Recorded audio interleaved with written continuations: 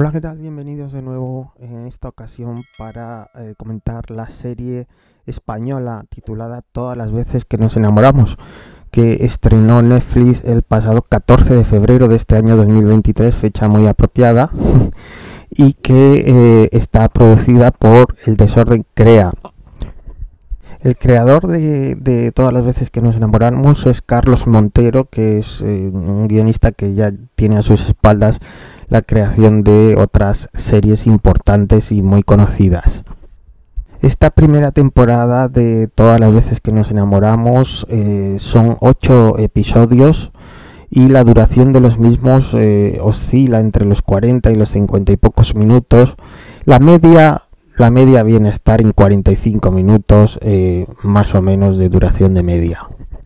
Todas las veces que nos enamoramos es fundamentalmente una comedia romántica, aunque también tiene ingredientes de drama y bueno, pues fundamentalmente es una comedia romántica urbana y juvenil con también pinceladas de drama. Desconozco si tienen intención de hacer segunda temporada, pero desde luego la trama queda eh, de una manera en que sí queda pie a que se pueda hacer perfectamente una segunda temporada. El guion está bien, está bien, tiene eh, bueno, pues una historia que desarrolla y está bien y luego tiene pues eh, mm, algunas situaciones y diálogos, eh, escenas y pues graciosas que tienen cierta gracia que levantan una sonrisa o incluso alguna risa. También tengo que decir que este guion no habría tenido la misma eficacia que sin duda tiene si no fuera por el respaldo y la solidez que le dan unas interpretaciones que creo que están a una altura bastante buena. No me refiero yo solo a los protagonistas, que también Georgina Moros eh, me ha gustado, eh, creo que hace una interpretación eh, bastante acertada, muy medida, sin sobreactuar, pero tampoco que tampoco mm, deja indiferente, tampoco deja frío. Y Franco Massini también creo que está a muy buen nivel, que hace una muy buena actuación. Eh, estos son los protagonistas, pero es que luego tiene un reparto muy bueno que, como decía, le da una eh, solidez y le da una autenticidad al guion y una naturalidad que a lo mejor no tendría con un reparto tan bueno.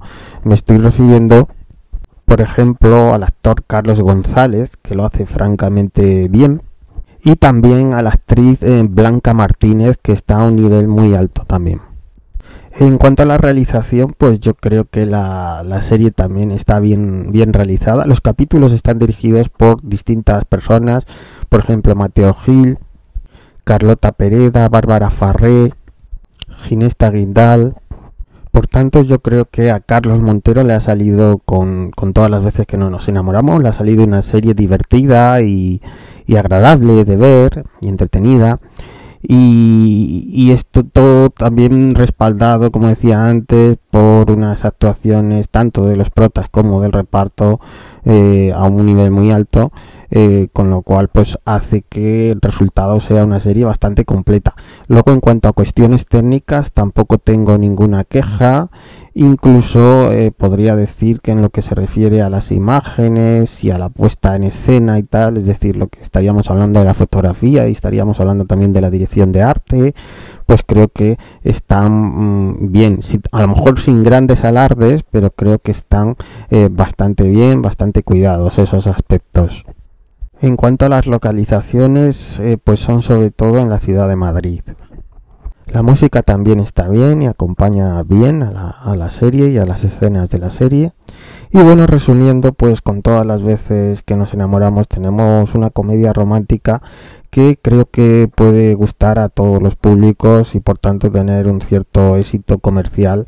Eh, no me extrañaría que lo tuviera y los diálogos y las situaciones y las escenas en general tienen una autenticidad y una naturalidad que eh, no tendrían si no fueran por eh, las interpretaciones de los protas eh, Georgina Moros y Franco Massini y del resto del reparto que también está como comenté antes a un nivel muy alto Eh, por tanto, es una serie que a mí me ha gustado en términos generales, estaría bien entre las 3 y las 4 estrellas de calificación.